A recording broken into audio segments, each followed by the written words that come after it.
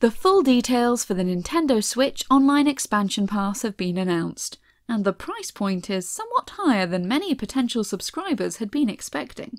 Access to Nintendo 64 and Sega Mega Drive games, along with Animal Crossing New Horizons DLC Happy Home Paradise, will cost $50 a year in the US, or £35 in the UK.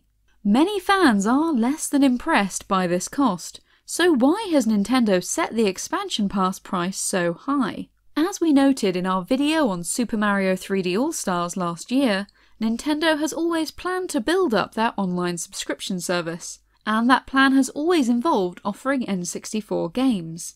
Said Nintendo president Shuntaro Furukawa, subscription-based services are becoming common in all sorts of industries, not just the games industry we believe that we need to further enrich these sorts of services in the future.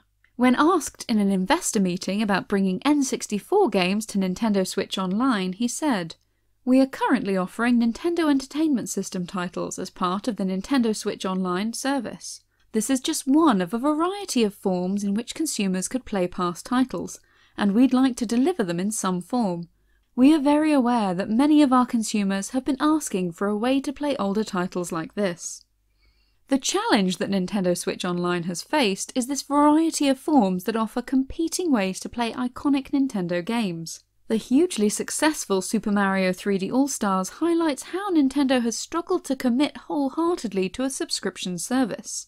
However, over the past couple of years, something big has shifted. In the first year that Nintendo Switch Online was available, it gained approximately, the official numbers aren't clear, 10 million subscribers.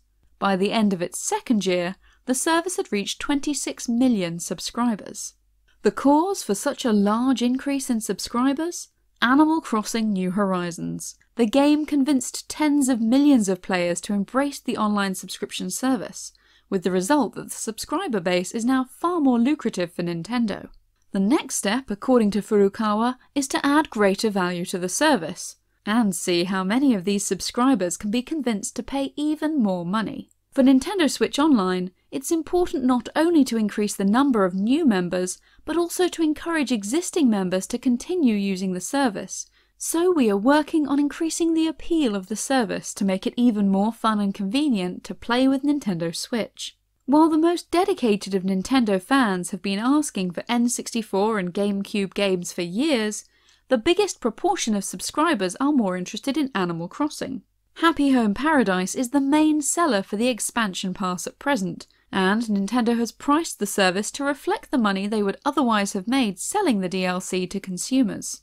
Nintendo, after all, has a history of refusing to reduce the price of their products even if it loses them sales in the long term. It's also worth mentioning issues surrounding licensing. According to industry insider Emily Rogers, licensing costs are likely the main culprit behind NSO Expansion's bold price. I heard Sega were paid very, very well. Third party titles, Konami, Capcom, are also being licensed for Genesis NSO, so the licensing costs begin to add up after a while. And who knows what licensing agreement arrangement Nintendo had with Rare Microsoft. It is likely true that licensing costs are only set to increase over time for subscription service offerings. With Microsoft throwing billions of dollars into building up Xbox Game Pass, it's going to be increasingly difficult for other gaming subscription services to keep up financially.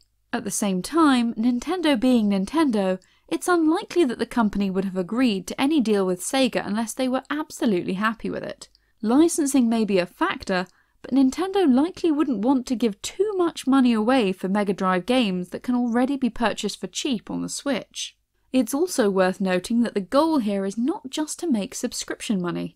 Nintendo is hoping to use these classic games to lure in nostalgic parents who will then introduce iconic Nintendo brands to their children. Said Furukawa, We always hope that our products are enjoyed by a broad audience of many generations, from children to adults. In the many years we have been in the video game business, we imagine people from a very broad range of generations have been playing Nintendo platforms. We'd like to continue to consider methods for communicating the appeal of Nintendo products to the parent generation, including series such as the NES and SNES versions of Nintendo Classic Mini, as well as classic content in our online services.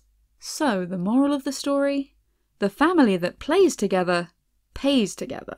Considering our daughter's continuing Zelda obsession, we can't fault their logic.